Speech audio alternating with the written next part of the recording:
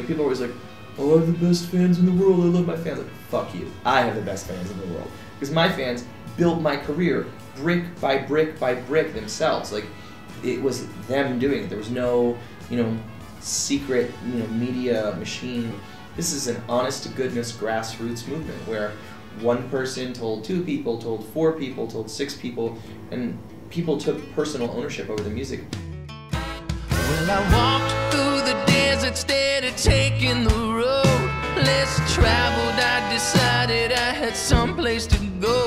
You look better in this light to me than ever before. I would apologize, but you don't wanna hear it no more. I've been resigned for a while. Welcome back to Sweden, Stockholm. I have been here a whole bunch of times now. This is one of my favorite cities in the world.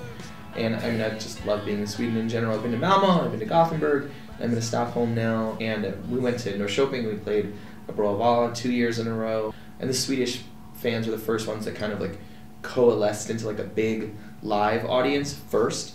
And so it always kind of holds like a special place in my heart. I really love to be here. This is the last stop on the, the European tour. How's it been so far?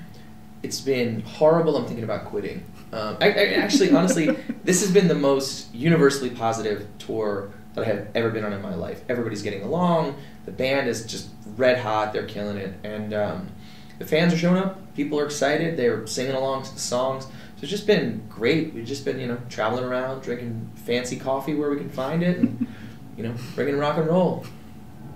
So the the new album, it's been out for three weeks now. Uh, has your audience picked it up quickly? Absolutely, it's been crazy. Every every night, it seems like more and more people are singing along to the new songs, which is really surprising. Uh, in the past, I mean, we've had people react to the new music quickly, but this is like a very large portion of the audience will show up and sing these seemingly to me brand new songs. I, I don't know how they how they learn them so quickly, but they're so enthusiastic about them. So we are very very lucky. So the Nighthawks, that's your new band, right? Or aren't they? So the band, you know, is like uh it's something that kind of came together sort of, you know, by accident. You know, Mhm. honestly, we we started working on this record with the intentions of making just making me another album. But being together and being on tour and working on that album, we just we kind of it just started to feel like a band. You know, we started to work together on things and write songs together, work on arrangements and you know compositions and all this stuff. And it just it just started to feel like the way that a band works together. And we all like we really get along so well. It's like nothing I've ever seen before in my life. Like it's like every day is like a summer camp reunion. Everybody's just so happy to see each other and do stuff together and be on the road together. Like, we're really really lucky. It's incredible. So, you know, so yeah, I guess I joined a band. I don't know. I need to confess that I I'd heard your name before, but I've Mhm. never heard your music. Mhm. But obviously, I have listened to the new album, and I have to confess that I'm kind of obsessed with uh, White River Junction. Ah. Uh, so, could you please tell me a bit more about that song? Well, uh, before I had ever considered making another album, I, I had just put out my last album. Yeah. It was maybe April or so, or May of 2014. So my new record had only been out a couple months at that point. Mhm. I had a couple weeks off in LA, and so we kind of moved into the Chateau Marmont. We got a little bungalow by the pool there. And it's like such a stupid rock and roll cliche to say that, but like I, I had some time off, and I love that place. So I thought, ah, you know, I'll hang out here and maybe I'll write some songs. And I had this band was getting together in August, and so there's there's seven of us, and everybody can sing like a bird. It's like being in a choir, but everybody has a beard and wears lots of denim. And so basically, I- I was like, I want to write something that showcases giant stacked harmonies to show what I think is going to be great about putting this ensemble together. And so I wrote White River Junction first. That's the first song that I wrote in the entire cycle of the album. I ended up writing about 150 tunes over the course of the next year, but that was first. Mm.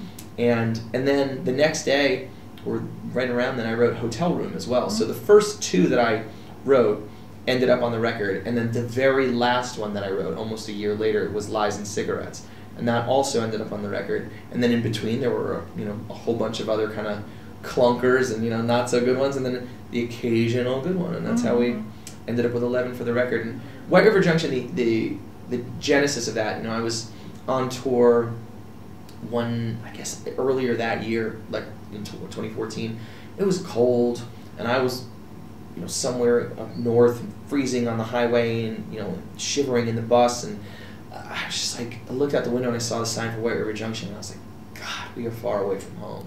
And it's like, hmm, White River Junction. White River, and we're far away from home. Way up north, there's someplace cold. I can feel your heartbeat. Through your dress, I pull you close. The sun's coming up real soon. And I don't know where we should go. White River Junction. Way up north, somewhere far away from home. You know, and so some of the songs, you know, it's like that. Like I capture little little moments. It's like little thoughts. But by and large, like I think that whether the narratives are very specific, you know, detailed things that point by point accounts of things that have happened to me, or whether they're things you know that I made up, uh, I think it's kind of irrelevant. Like what I want is for you to take the songs home, Mhm. and then for it to be about you, Mhm. because you know art is. Um, I have a word. There's a word in my brain uh, that I want to use for it.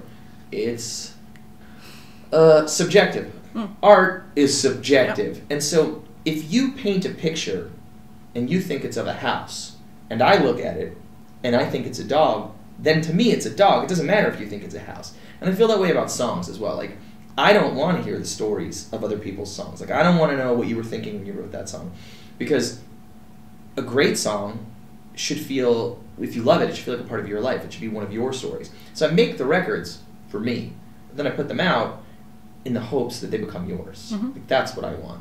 And so that's why I generally don't like really share the specific details of the stories behind the songs because I don't want it to disappoint people and I don't want it to shape how they take it into their own lives because it's subjective. Mhm. It's it's it should be about you. It's Yeah. yours.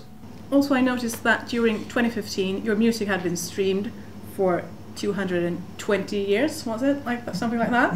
Isn't that insane? Yeah, the internet is crazy, isn't it? It's it's it's really and that's just on Spotify. I mean, Yeah. like I was getting uh, 15 million plays a month on Pandora that year as well. Mhm. So you know that's 180 million plays in a year, which I think it actually ended up being more than that. It's it's insane.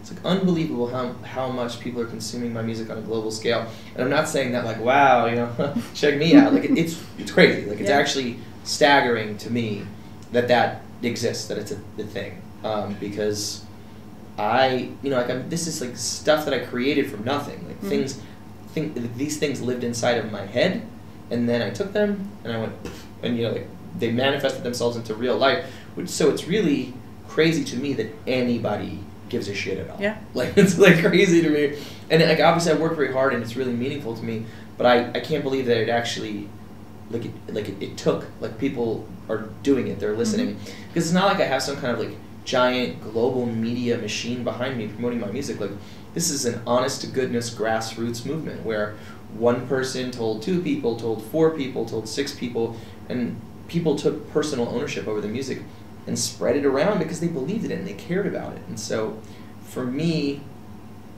that's been everything. You know, people are always like, "Oh, I have the best fans in the world. I love my fans." Like, fuck you. I have the best fans in the world because my fans built my career brick by brick by brick themselves. Like, it was them doing it. There was no, you know, secret, you know, media machine doing it. It was like really people doing it and sharing it. And so, I, uh, I'm very, very lucky, and that's, yeah. I, I can't believe the numbers either. It's staggering to me well. Thank you for taking the time, and good luck tonight. Thank you very much. I appreciate you coming to talk to me. Bad intentions and a good, good heart.